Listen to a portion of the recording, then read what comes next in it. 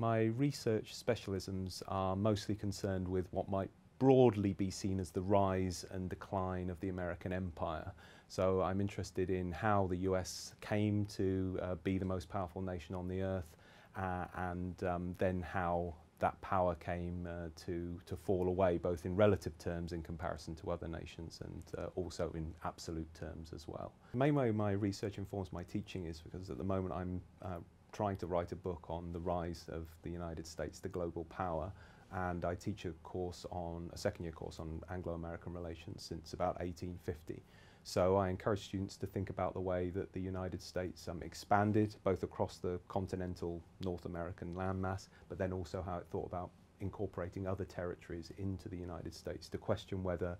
uh, it was a form of empire, um, but also to think about how the US thought about itself in relation to other powers, and particularly Britain, both positively as a force for development and, and sort of um, as an exceptionalist force, but also how it took on some of the um, uh, idiosyncrasies of empire uh, in the way that it did that. I think the greatest strength of the department is that it's uh, it's a good size, but it's not too big, and it's very friendly. So you can always find someone to talk to, to ask uh, advice, and uh, people are always available if I could give students one piece of advice apart from uh, doing reading for their seminars, uh, it would be to get involved in university life in all kinds of different ways. And the most obvious way to do that is to join societies.